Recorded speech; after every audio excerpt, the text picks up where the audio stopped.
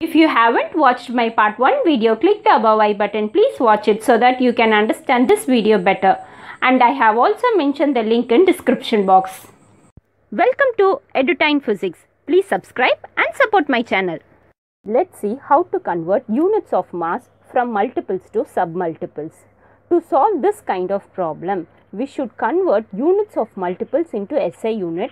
We will get an answer and then convert SI unit into units of submultiples.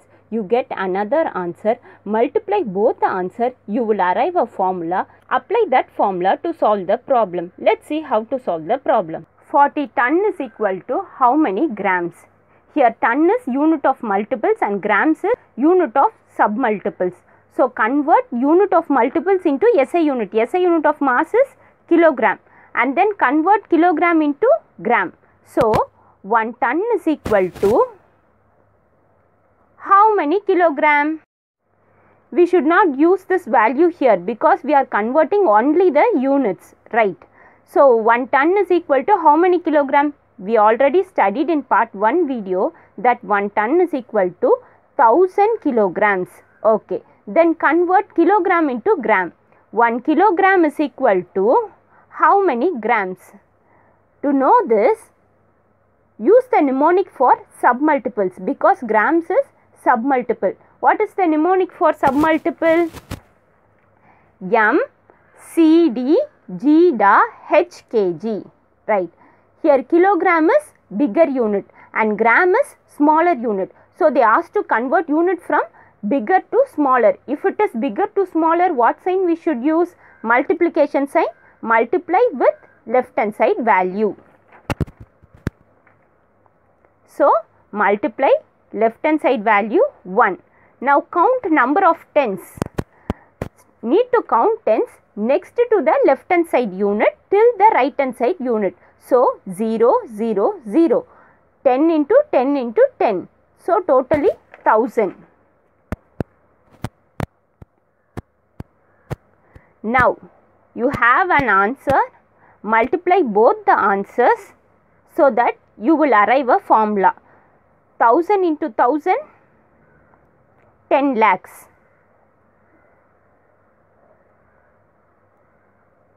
So, 1 ton is equal to 10 lakh grams. You have arrived at formula. Now, substitute the given values in this formula. 40 ton is equal to 40 into 10 lakhs. So, totally how many zeros are there? 7 zeros. So, 10 power 7 grams. We have solved this problem by using this formula, right? Same steps what we followed in previous sum we are going to follow here. Okay. Convert units of submultiples into SI unit, then convert SI unit into units of multiples and multiply both the answers you will arrive a formula. Okay. Here 75 decigram is equal to how many ton? Decigram is submultiples. From submultiples we are going to convert it into SI unit kilogram. Okay. So 1 decigram is equal to how many kilogram? What is the mnemonic? NCD GDA HKG. Okay. Here D decigram is smaller unit, kilogram is bigger unit. So smaller to bigger divide. So divide with left hand side value. Divide left hand side value 1. Now count number of zeros next to left hand side unit.